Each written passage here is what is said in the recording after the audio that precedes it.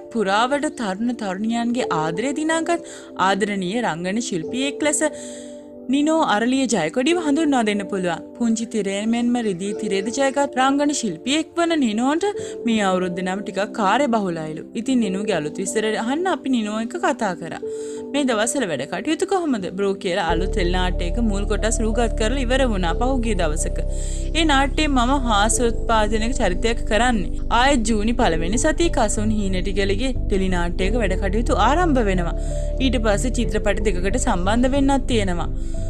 Covid කාලෙදි වැඩ කටයුතු මගේ හැරුණාද?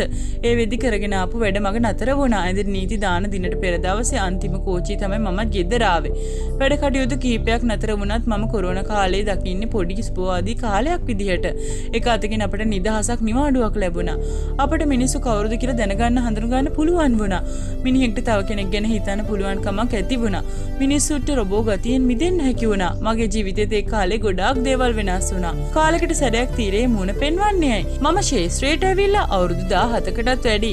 මම ආසාවෙන් තමයි ශේත්‍රයේ වැඩ කරන්නේ. මේක ඇතුලේ හමුවුණු යාළුවෝ හරි ආදරෙන් තමයි මම පිළිගත්තේ. මම වැඩවලින් ඈත්ලා හිටියේ නැහැ. හැබැයි මගෙන් වැඩ ඈත්තුන අවස්ථා තිබුණා. ඒ ගැන පස්සේ වෙන කාලයක් මට නැහැ. මොකද මං ඒ කාලේ මගේ හැකියාව දියුණු කරගන්න යොදවලා තිබ්බ නිසා. මම වැඩ තෝර බේරගෙන කරපු අවස්ථා නැතුවම නොවේ. උදාහරණයක් විදියට සයපති කුසුම චිත්‍රපටය සඳහා මට ආරාධනාවක් ලැබුණා. සමලිංගික චරිතයක් නිරූපණය කරන්න. පෞද්ගලිකව මම පිරිමි කෙනෙකු සිප ගැනීමට තිබෙන අකමැත්ත නිසා මං සයපති කුසුමට දායක වුණේ නැහැ. මම චරිතයක් නිරූපණය කරනකොට ඒකට උපරිම සාධාරණය සිදු කරන්න ඕන. එතකොට මට බාගට රඟපාන්න බැහැනේ. මං හිතා බොහොම සුහදව ඔවුන් සමග ඒ පිළිබඳව සාකච්ඡා කරලා චරිතය ප්‍රතික්ෂේප කරා.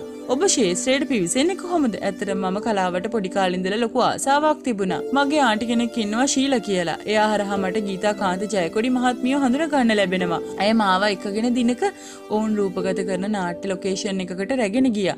මට දුන්නේ තප්පර දෙකක පුංචි චරිතයක්. ඊට පස්සේ මට තුසිද සිල්වා මහතාගේ මදුවනම් මෑ කියන ටෙලිනාට්‍යයේ පාසල් සිසුවෙක්ගේ චරිතයක් ලැබෙනවා. එතනදි මට හමු වෙනවා චාමර ප්‍රියදර්ශන සුරංග ගුණතිලක කියන යාළුවෝ දෙදෙනා. ඔවුන් හරහා මහේන්ද්‍ර අයියාගේ වැඩමුළු වලට සහභාගී වෙනවා. එතනින් ඇරබෙන ගමන තමයි මේ. ඔබ කාලයක් විදේශගත වෙනවා. ඕ මම කාලයක් රැකියාවක් සඳහා විදේශගත වුණා. නමුත් මම මාස දෙකකින් එහා හිටියේ නැහැ. ආයෙත් ලංකාවට ආවා. ඒ ඇයි? මට කලාව ඇතුලේ දෙයක් කරන්න තිබෙනවා. ඒකට අවශ්‍ය ප්‍රතිපාදන මම සකස් කරගන්න ඕන. නිකන් හිටියට කවුරුත් අතට සල්ලි ගෙනත් දෙන්නේ නැහැනේ. ඒ නිසා තමයි මම විදේශගත වෙන්නේ. ඒ ගිහින් මාස දෙකක් ඇද්දි මං කල්පනා කරනවා ලංකාව වගේ රටක ඉඳලා කරන්න පුළුවන් දේවල් තියෙද්දි ඇයි මම මේ රටට ගිහිල්ලා දුක් විඳින්නේ කියලා. ඊට පස්සේ කෙලින්ම ලංකාවට ආවා. ඔබ සිනමාවේ ප්‍රධාන චරිතයක් වෙන්නේ නිනෝ ලයිව් චිත්‍රපටියට පමණයි නේද? විමුක්ති ජයසුන්දර මහතාගේ ආසින් වැටේ කියන චිත්‍රපටයේ ප්‍රධාන චරිතය මට ලැබුණා. කොහොම හරි මගේ පෞද්ගලික ප්‍රශ්නයක හේතුවෙන් මට ඒ චිත්‍රපටයට දායක වෙන්න බැරි වුණා. ඒ වගේ පුංචි පුංචි නොදැනුවත්කම් නිසා මට නැති වුණු අවස්ථා තියෙනවා. නිනෝ ලයිව් තමයි මම ප්‍රධාන චරිතයක් කරේ පළමු වරට. මගේ පළවෙනි චිත්‍රපටය නම් මචන් තමයි. ඊට පස්සේ ආකාශ කුසුම් චිත්‍රපටයට දායක වුණා. මේ අවුරුද්දේදී අපි තව ලස්සන චිත්‍රපට දෙකක් කරනවා. ඒ ගැන නම් ඉස්සරහට කියන්න. ඔබට රංගනයෙන් දායක වෙන්න බැරුණු චරිතයක් තියෙනවද? ඔව්. ඇත්තට මම චරිත කරලා නැහැ. මට රංගපාන ලැබිලා තියෙන සාමාන්‍ය ජීවිතේදී හම් වෙන සාමාන්‍ය චරිත කිහිපයක්. මමත් ආසයි චරිතාංග නළුවෙක් වෙන්න.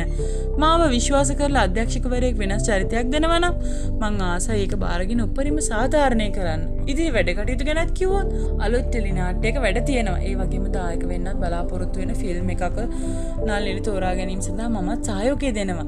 ඒක අගෝස්තු මුල ආරම්භ කරනවා. මේ අවුරුදු ඉදිරි කාලෙදී නම් ටිකක් කාර්යබහුල වේවි. මතක් කළ යුතු විශේෂ පිරිසක් ඉන්නවද? ඔව්. අවුරුදු 17ක් පුරාවට මගේ පස්සෙන් හිටිය මගේ අම්මයි තාත්තයි මගේ සහෝදරියයි. ඒ වගේම මගේ රසිකයෝ හිතවතුන් සියලු දෙනා මතක් කරන්න ඕන. විශේෂයෙන්ම මගේ පෙම්වතියත් ආදරෙන් මතක් කරනවා.